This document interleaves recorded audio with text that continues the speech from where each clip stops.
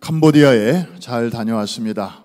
18년 전에 제가 신수빈 장로님 모시고 어, 땅을 사기 위해서 어, 갔다 왔는데 그로부터 벌써 세월이 이렇게 많이 지났습니다. 아, 오래간만에 가보니까 아, 많이 달라진 모습을 아, 볼수 있었습니다. 이번에 새로 깨달은 것은 캄보디아의 전통 불교 강국 아닙니까? 그런데 그 기독교 인구가 꽤 전에는 있었더라고요. 1970년대 초반까지만 해도 한 푸놈펜 수도인 푸놈펜에만 크리스찬들이 2만 명 어, 정도가 아, 있었고 교회도 26개 정도가 있었는데 75년도부터 78년까지 4년에 걸친 폴포트 정권의 소위 캄보디안 홀로코스트 어, 인종 대청소 그때 대부분의 기독교인들이 그 피하거나 혹은 죽임을 당했고 어, 그때 한 200명 정도 교인들만 겨우 남았었다고 합니다. 그리고 목회자들도 다 죽임 당하고 어, 이제 세 명만 아, 살아남았는데 아, 이제 그런 분들의 후예들이 지금 교회를 지켜오고 어, 있습니다. 순교의 피가 아, 캄보디아 땅에도 어, 많이 흐르고 있구나 하는 것을 이번에 가서 이제 선교사님들을 통해서 들을 수가 있었습니다. 그리고 캄보디아는 여러분도 가보시면 알지만 길거리에서 노인 구경하기가 참 쉽지 않습니다. 제가 20년 전에 갈 때만 해도 아 이거 어, 인종 그 학살 때 노인들이 많이 죽어서 장년층들이 많이 돌아가셔서 그런가 보다 그랬는데 요번에 갔는데도 역시 마찬가지였어요. 그래서 이거는 어, 그 홀로코스트하고는 관계가 없는데 왜 이렇게 노인 구경하기가 힘들까 물어봤더니 아, 평균 수명이 남자의 경우 아직도 60 이하입니다. 60세를 못 사는 거예요. 삶의 질이 여러 가지로 열악하기 때문에 날은 덥죠. 위생은 좋지 않죠. 어, 나라의 경제적인 수준도 어, 늘 그냥 그, 거기서 어, 벗어나질 못하죠. 그러니까 뭐 병원도 사실은 아프면 빨리 병원에 가야 되는데 어, 병원 시설도 가까이 있지 않고 음, 그러다 보니까 다 젊은이들만 보이는 거예요.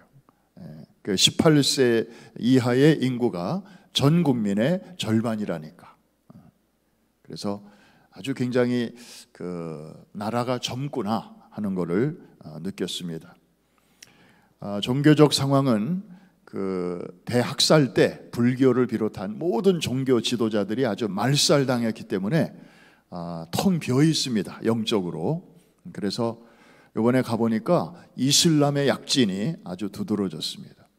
어, 곳곳에 초생딸이 이렇게 에, 붙어 있는 첨탑 가진 이슬람 사원들이 마을마다 아, 이렇게 있는데 특별히 우리 교회가 이제 지저스 빌리지를 어, 지금 준비하고 있는 그 지역이 깜뽕천항인데 이 깜뽕천항은 말이 어렵지 수도인 푸놈펜과 저 북쪽의 세계적인 관광지인 앙코르와트 이제 CM 립이라고 하는데 그 두 유명한 도시의 딱 중간에 있어요. 우리 선교지가. 아, 그런데 그 깜뽕천항 지역에 이슬람이 집중적으로 들어와서 주민들의 절반이 아, 모슬렘이에요. 어느새 아, 이제 그렇게 되는 것을 보면서 캄보디아가 사회주의 정권이지만 다른 종교들에게도 문을 활짝 열어놨구나. 아, 그래서 정말 때가 됐구나. 아, 축구 경기로 말하면 골대가 있는데 골키퍼가 없어요. 그냥 볼만 누구든지 와서 차면 골이 들어가는 그런 상황에 누가 와서 깃발만 꽂으면 되는 그런 상황에 하나님께서 이렇게 캄보디아의 예수 마을 프로젝트를 어, 열어 주셨어요. 지난 18년 동안 하나님이 가만히 계시는 것 같았는데 아, 때가 되니까 또 이렇게 열어 주셨습니다. 아마 그 전에 이런 프로젝트를 하나님이 활짝 열어 주셨으면 우리는 이런 규제, 어, 이런 법, 저런 규제에 막혀 가지고 어, 제대로 일을 추진도 못했을 텐데 하나님이 여러 가지로 외적인 상황을 이렇게 열어 주시는 것을 보았습니다. 앞으로 놀라운 영적인 부흥, 순교의 피가 흐르고 있는 땅이기 때문에 하나님이 그런 땅은 절대로 가만해 두지 아니하셔요. 아벨의 그 피가 하늘에 계속 호소하고 있기 때문에 하나님은 공평하신 하나님이시라서 반드시 그 땅에는 놀라운 영적 부흥을 주실 줄로 믿습니다. 때가 참에 또 우리 프라미스 교회로 하여금 어, 그런 어, 꿈을 꾸게 하시고 또 우리 시니어들로부터 우리 어, 젊은 세대들에 이르기까지 이제 어느새 캄보디아가 쑥 들어왔잖아요. 그 나라 위에서 기도하고 있고 또 여러분들이 그 나라 위에서 또 집을 지어주고 또 학교를 지어주고 교회를 짓고 또 우리 클리닉을 세워서 어, 그곳에 하나님의 백성들을 위로하는 이런 일을 지금 준비하고 있는데 어, 하나님께서 정말 그 땅에도 하나님의 나라가 강력하게 아, 임하게 하실 줄로 믿습니다. 계속해서 기도해 주시기를 바랍니다. 아, 멀긴 멀더라고요. 네. 아, 뉴욕을 떠나서 한국을 거쳐서 그리고 또 다섯 시간을 아, 이제 날아가는데 제가 마침 한국에 도착한 아, 그날부터 이제 러시아가 우크라이나 사태 영향으로 러시아 항공을 하늘을 다 닫아 버렸어요. 일반 항공기들이 러시아 상공을 지나지 못하도록 그래가지고 비행기가 한 30 이렇게 우회해가지고 가능하고 평소보다 한 30분 정도 비행 거리가 아, 늘었습니다. 아, 참고하시기를 바랍니다. 자 오늘은 querencia의 비밀이라는 제목으로 말씀을 전합니다. 몇 년 전부터 한국 사회에 저 말이 유행을 하고 있습니다. 영어가 아니고 어, 방언도 아니고 어, 저 말은 Spanish, 어, 스페인 말입니다. 아, querencia란 원래 스페인의 그 투우 경기, 그 투우 경기에서 사용되는 그런 말입니다. 여러분, 투우 경기는 한 마리의 소와 여러 사람의 투사가 이제 경기를 하죠. 어, 저는 그냥 한 사람이 이렇게 싸우는 줄 알았는데 그 팀이 있더라고요. 그래서 각자 역할 분담이 다 있다고 합니다. 그래서 이 사람은 여기까지 하고 그 다음 투사가 나와서 어, 여기까지 하고 그리고 어, 그래서 창을 아, 이제 곳곳에다가 이렇게 꽂죠. 어, 사진 한번 보실까요? 저기 보면 음, 네, 이제 저 사람은 마지막 투사입니다. 아, 그 황소를 잘 보시면 등어리에 그 벌써 여러 개가 창이 꽂혀 있어요. 꽂혀 있어요. 칼이 꽂혀 있어요. 그래서 지금 굉장히 소가 힘들어요. 막 기운은 빠지죠. 지쳐가죠. 그러면서도 화는 나 있죠. 아, 그런데 바로 그 순간에 저 소가 갑자기 정지합니다. 그리고 어느 곳을 향하여 뚜벅뚜벅 걸어갑니다. 투사를 향해서 가는 게 아니고 자기가 나름대로 정해놓은 장소로 이제 예, 걸어가는 것입니다. 음. 거친 숨을 헐떡이면서 그곳에 가서는 이제 아, 마지막으로 자기의 온 힘을 예, 거기서 이제 이렇게 아, 준비하는 거죠. 아, 에너지를 모으는 거죠. 저 마지막 투사와 이제 마지막 결전을 벌리기 위해서입니다. 바로 그런 장소, 예, 거기를 깨렌시아라고 하는 것이죠. 그래서 오늘날 이제 피난처 혹은 안식처 이런 의미로 어, 사용되고 있는 것입니다. 여러분 저 전문 투사에게는 몇 가지 철칙이 있는데 그 중에 하나가 뭐냐면은 어, 저 소가 아까 말씀드린 그 깨렌시아라고 하는 자기만의 장소에 가 있을 때는 절대로 소를 건드리면 안 된다. 저 안으로 들어가면 안 된다. 왜? 투우사들이 죽어요. 왜냐하면 저 깨렌시아라고 하는 곳에서는 소가 마지막 힘을 다 이렇게 에너지를 모으고 있기 때문에 거기로 섣불리 가까이 갔다가는 아, 이제 노련한 투우사도 어쩔 수 없이 다치거나 힘에 눌려서 큰 어려움을 당한다는 것입니다. 소가 깨렌시아에서 나올 때까지 기다려야 한다는 것이죠. 그래서 아, 정면 승부를 해서 저 마지막 투사가 소의 급소에 아, 칼을 찌르면서 이제 황소는 장렬한 최후를 맞이하게 되는 것입니다. 왜 한국 사회에 저 깨렌시아라고 하는 낯선 언어가 이렇게 사람들의 입에 자주 오르내리는가? 여러분 집에 가서 한번 찾아보십시오. 깨렌시아 이렇게 구글이나 아, 이런 서치로 찾아보시면 어, 저게 사람들의 일상 생활로 굉장히 많이 들어와 있음을 알 수 있습니다. 왜냐하면 이 어, 정말 투우장과 같은 현대인의 삶이 얼마나 바쁩니까? 피곤합니까? 사람들이 쉽게 지치잖아요. 아, 네, 그런 가운데서 나만의 공간, 아, 어떤 재충전을 위한 아, 그런 시간과 공간이 그만큼 이제 필요하다는 그런 반증이 되겠죠. 사실 우리가 살다 보면 여러 가지 일들이 일어나지 않습니까? 그 중에는 자기의 해결 능력이나 자기의 통제 능력을 초월하는 그런 일들이 많이 일어납니다. 그 중에 하나가 팬데믹이잖아요. 문자 그대로 팬데믹. 온 지구적인 재앙이에요. 이거를 우리가 무슨 수로 내가 뭐 열심히 혼자서 노력한다고 되는 거 아니잖아요. 그리고 멀쩡하던 몸에 갑자기 어느 날 암 진단을 받는다든지 그러면 본인도 철렁하지만 가족들도 얼마나 놀랍습니까?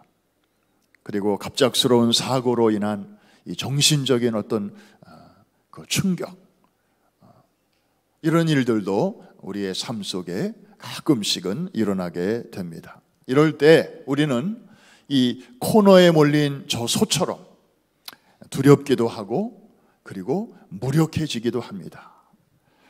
그럴 때마다 아, 자신만의 영역으로 한 발 물러나서 이제 놀란 가슴을 달래면서 숨을 고르고 그리고 자신을 추스리면서 이제 그 다음 내가 어떻게 아, 나아가야 할 것인가를 어, 계획하는 바로 그런 시간, 그런 공간이 필요한 것입니다. 휴식과 재생, 치유와 회복을 위한 나만의 공간, 여러분만의 공간, 그것이 바로 여러분 인생의 깨렌시아, 라는 것인데 과연 여러분의 깨렌시아는 어디입니까? 어디입니까? 오늘 설교의 주제가 바로 그것입니다. 어, 우리 한국에 있는 분들 이렇게 어, 삶을 뒤져보니까 이제 하루의 일을 마치고 퇴근길에 어떤 분은 어, 자기 차 안에서 차 안에서 어, 좋은 음악을 들으면서 어, 또 가정으로 들어가면 또 가정에서 기다리고 있는 일들이 있으니까 그 퇴근과 가정 귀가 그 사이에 어, 차 안에서 이제 뭐 좋은 음악을 들으면서 잠깐 쉬는 예, 그런 것을 자신의 깨렌시아로 어, 이제 활용하는 분들이 있고요. 그 다음에 그 수면 카페라는 게 한국에서는 요새 많이 생겼대요.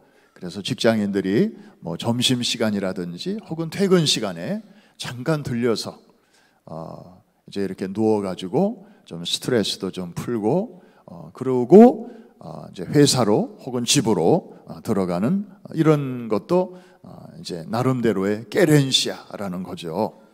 예, 그런가 하면 조금 여유가 있는 집은 자기 집 안에 거실이나 혹은 여유 있는 방에다가 소위 뒤, 뒤로 이렇게 제껴지는 의자, 그 리클라이너 의자를 갖다 놓고 거기서 이제 좀 어, 헤드폰 이렇게 끼고 좀 음악도 들으면서 차 한 잔 마시면서 어, 그런 시간을 또 휴식 공간으로 활용하는 사람도 어, 있습니다. 소위 케렌시아 스타일 이런 말이 생겨서 이렇게 가구를 홍보하거나 그럴 때그 케렌시아 스타일은 이런 걸 갖다 놓으시면 좋습니다. 뭐 이렇게 선전을 하고 있습니다.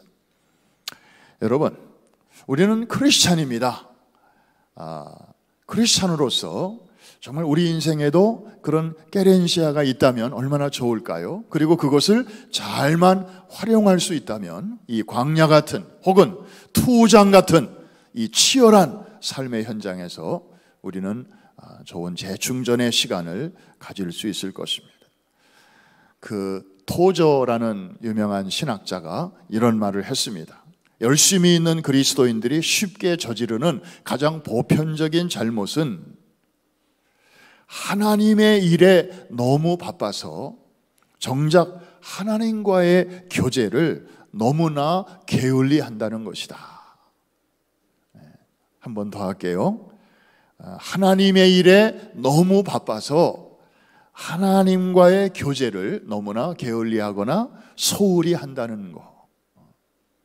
여러분, 어때요? 저는 이 말을 처음에 들었을 때 얼굴이 좀 화끈해지더라고요. 마치 들킨 것 같아가지고 어, 이분이 어떻게 그걸 알았지? 마치 내 깊은 내면을 들킨 것 같았어요. 맞아요. 아, 세상 일을 하느라고 하나님과의 교제를 소홀히 하는 것은 이해돼요. 그런데 크리스찬이 하나님의 일을 하는 것 때문에 정작 하나님과의 교제를 소홀히 한다. 이거는 마치 뭐와 같으냐면 아, 바깥 일을 주로 하는 남편이 하루 일과를 마치고 퇴근해서 집에 왔는데 보니까 아내가 있어요. 어, 자기 왔어? 뒤도 안 돌아보고 그냥 일, 일하면서 자기 왔어? 한마디 해놓고 계속 집안일 하는 거예요. 뭐, 빨래도 하고, 청소도 하고, 그 다음에 애기 또 돌보고, 그러면서 남편하고는 얼굴도 맞출 새가 없는 거예요. 그 남편은 이제 잘 시간이 됐는데도 아내는 아직도 일이 안 끝났어. 이게 그날만 그런 게 아니라 거의 every day 그렇게 반복이 된다고 하면 남편의 마음은 어떨까요? 분명히 아내가 아, 다 가정을 위해서 또 남편을 위해서 아이를 위해서 저렇게 수고하는 거는 알겠는데 도통 얼굴을 볼 수가 없다. 뭐 차 한 잔 마시면서 그날 있었던 일을 나눌 수 있는 그런 시간도 없다. 이런 일이 쌓이고 쌓인다면 그 가정은 글쎄요, 어, 과연 행복할까? 하나님과 우리와의 관계도 마찬가지일 것입니다. 그런데 오늘 본문을 보니까 어, 주님에게도 깨렌시아가 있었더라고요. 주님이 그러면 주님은 어떤 시간과 어떤 공간을 깨렌시아로 그렇게 활용하셨을까? 우리 한번 35절 말씀을 같이 한번 보면 잘 알 수 있겠습니다. 35절 시작. 새벽 아직도 밝기 전에 예수께서 일어나 나가 한적한 곳으로 가사 거기서 기도하셨다. 여러분 저 말씀만 보면 아 주님이 새벽에 아주 조용한 시간을 가지셨구나. 그런데요 항상 텍스트는 전후 문맥으로 봐야 진짜 그 텍스트가 제대로 어, 의미가 드러납니다. 다시 말해서 context와 같이 봐야 텍스트가 아, 제대로 깨달아진다는 거죠. 저 35절 직전까지는 예수님의 하루의 일과를 우리에게 소개하는데요. 여러분도 바쁘게 사시지만 정말 예수님처럼 바쁜 분 없어요. 그 짧은 몇 절 속에서 아, 정말 수많은 사람들이 예수님을 찾아오고 그리고 기다리고 만나기를 원하고 그리고 아침부터 저녁까지 아, 정말 많은 사람을 고쳐주시고 귀신을 쫓아내시고 그리고 회당에서 가르치시고 preaching, teaching, healing 뭐 어, 정말 숨 돌릴 겨를도 없이 바쁘셨어요. 그러고 잠자리에 드셨으면 우리 같으면 얼마나 피곤하겠어요. 예. 아유 어제는 너무 고단했어. 그래서 오늘 새벽은 그냥 아, 아, 통과 통과 통과 통과. 우리 같으면 그럴 텐데 새벽 아직도 밝기 전에 그래서 그 이전과 저 35절을 연결해서 읽어야 저 35절의 의미가 비로소 드러난다 하는 것입니다. 그리고 35절 그 다음까지 또 연결해서 읽어야 돼요. 어, 그 다음에 보니까 제자들이 찾아와서 주님, 오늘도 벌써 사람들이 저렇게 몰려와서 주님 만나기를 원하네요. 좀 나가보셔야 되겠는데요. 어, 제자들이 이러니까 주님이 뭐라고 말씀하셔요? 야, 이 동네에서는 됐다. 이만하면 됐다. 우리 옆에 마을로 가자. 우리가 거기서도 전도해야 되니까. 그러면서 장소를 옮기십니다. 그 장소를 옮기시면 거기 가서는 또 무슨 일이 기다리고 있을까요? 이 마을에서 있었던 동일한 일들이 이제 그 마을에서 이제 또 기다리고 있는 거지요. 정신없는 일들이 기다리고 있는 거예요.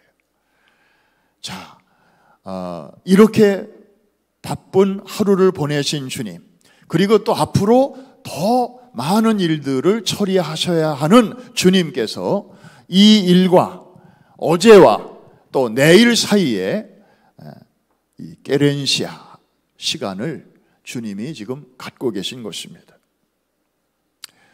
주님은 특별히 새벽 시간을 선호하셨습니다. 그래서 우리 한국 목사님 중에 어느 한 분이 야 새벽 기도가 너무 힘드니까 혼자서 화장실에서 아무도 없으니까 아, 자기도 모르게 도대체 어떤 놈이 이 새벽 기도를 만들어 가지고 응? 이렇게 우리를 고생시키냐고 어, 아무도 없으니까 그냥. 근데 위에서 음성이 들리더래요. 내가 만들었다. 바로 주님의 음성이었대요. 어떤 놈이라고 해서 죄송합니다. 근데 주님은 왜 이렇게 새벽 시간을 좋아하셨을까요? 음. 왜? 한밤중에 모든 일 마치고 애들 자고 뭐 조용한 시간도 좋을 텐데 왜 주님은 총각이라서 그러셨을까요? 아니에요. 우리가 성경을 구약부터 신약까지 다 보면 새벽은요, 하나님의 시간이었어요. 하나님의 시간. 여러분 새벽의 그 아름다움을 우리가 생각할 때요. 우선 캄캄한 흑암의 밤이 있다가 그 다음에 그 밤이 낮으로 바뀌어가는 그 과도기가 새벽이거든요. 어둠이 서서히 물러가고 이제 빛이 찾아오는 시간. 이 transition 전환기예요. 의미가 있지 않습니까? 어둠이 물러가고 밝음이 찾아오는 시간이에요. 사단의 권세가 떠밀려가고 빛의 나라, 하나님의 나라가 임하시는 시간이에요. 그래서 성경을 보면 굵직굵직한 아, 놀라운 하나님의 그 기적과 또 도우심이 주로 한밤중이 아니라 한밤중에도 뭐 일어난 일이 있지만 그건 주로 개인적인 차원에서 일어났고 정말 지구적인 우주적인 의미가 있는 커다란 사건은 주로 이 새벽 시간에 일어났어요. 400년 동안 종로로 타다가 하나님의 은혜로 해방된 이스라엘 백성들이 이제 홍해를 건널 때 그 넓은 홍해 바다가 하나님의 권능으로 열려진 시간이 바로 새벽이었습니다. 밤새도록은 바람이 불어왔어요. 동풍, 어, 저 아라비아 사막으로부터 불어오는 이 바람이 물을 계속해서 어, 이제 밀어내는 그런 작업을 했고 저들이 그 홍해를 육지같이 건넌 것은 이른 아침 시간이었어요. 저들이 구원을 맛본 시간이 바로 이 새벽이었다 이 말입니다. 이해가 되시면 아멘 하십시다. 여리고가 무너진 것도 아, 바로 이른 아침이었어요. 무엇보다도 우리의 구원자로 오신 예수님께서 어, 다 이루었다.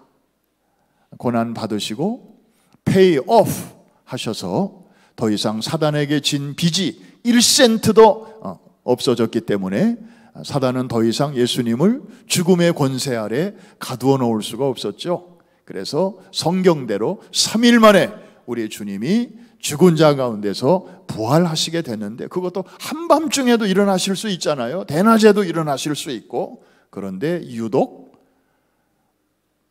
안식 후 첫날 이른 아침에 우리 주님이 부활하셨습니다. 사단의 권세를 깨뜨리시고 승리하신 것입니다. 할렐루야. 그래서 이 이른 새벽은 왜 저렇게 하나님이 일하시고 또 우리 주님이 저렇게 이른 새벽 시간을 좋아하셨는가 봤더니 바로 구원의 시간이었고 능력의 시간이었고 그리고 승리의 시간이었기 때문입니다. 할렐루야.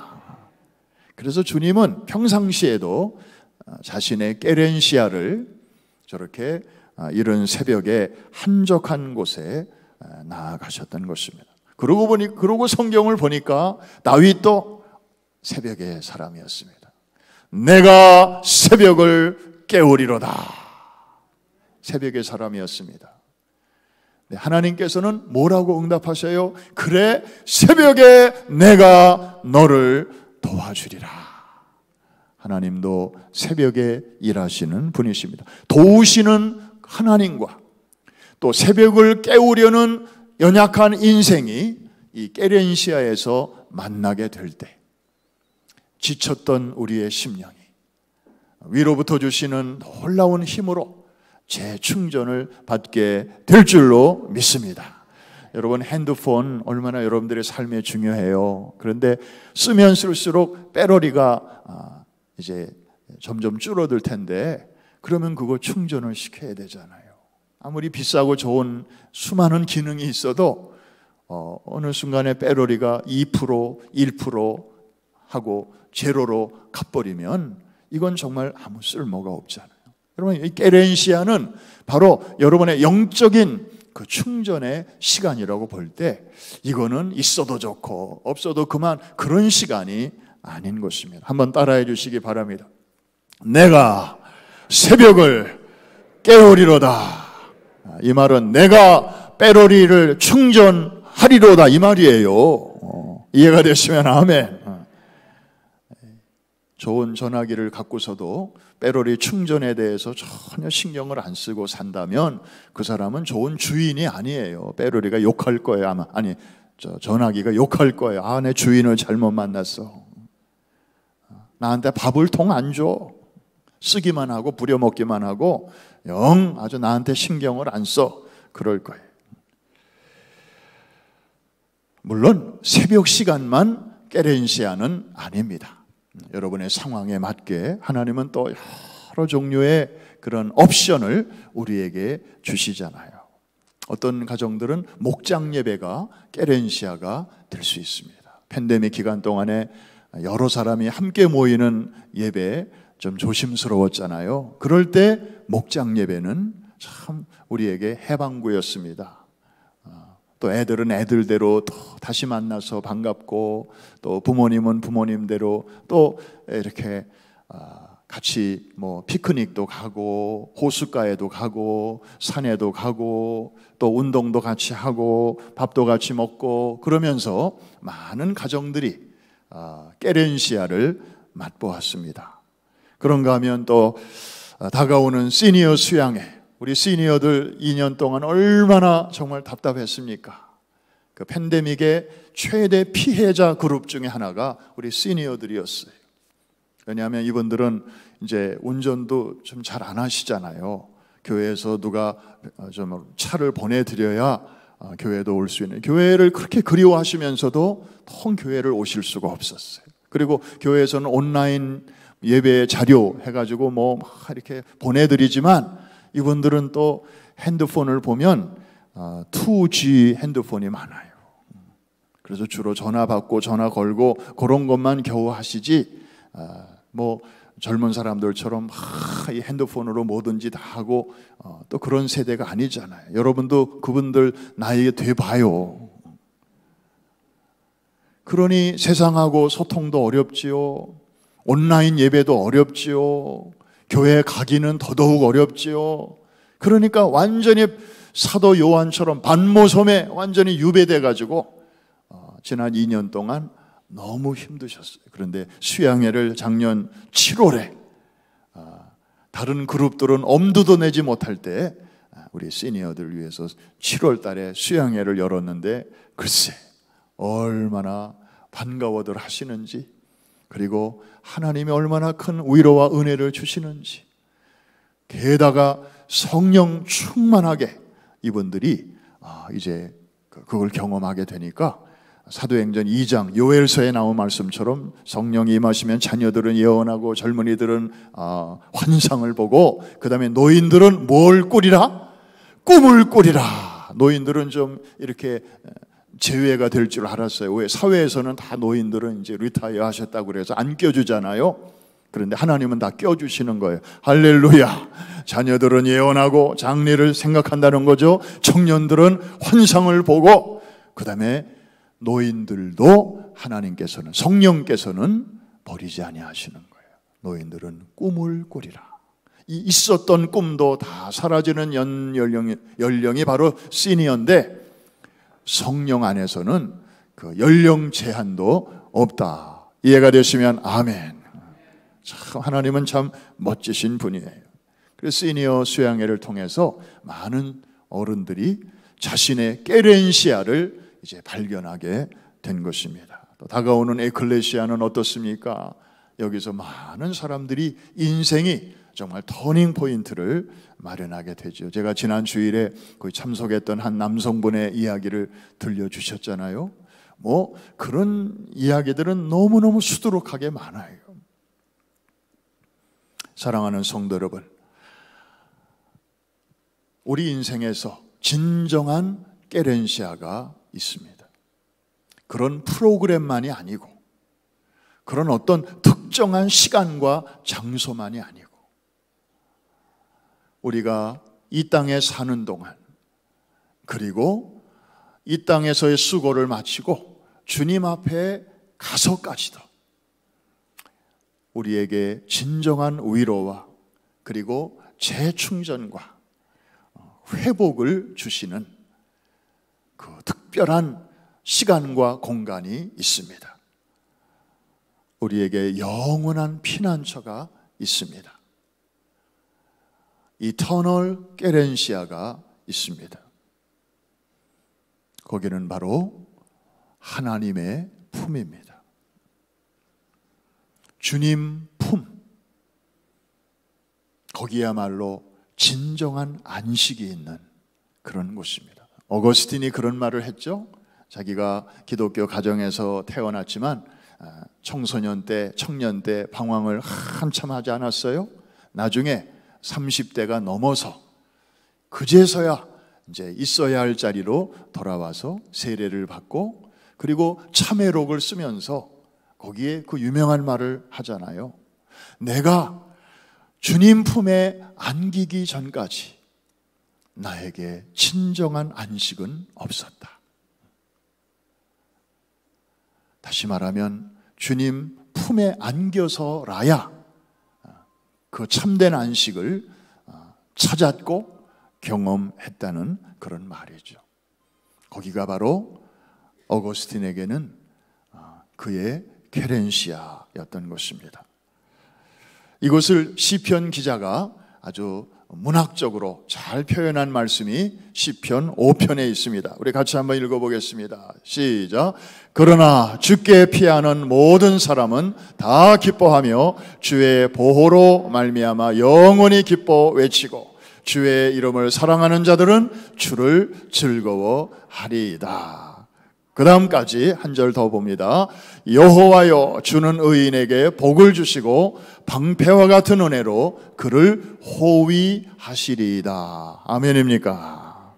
마지막으로 한 절만 더 보겠습니다. 시편 91편 1절인데 이것은 신앙인의 911이라고 별명을 붙일 수 있는 그런 규절입니다.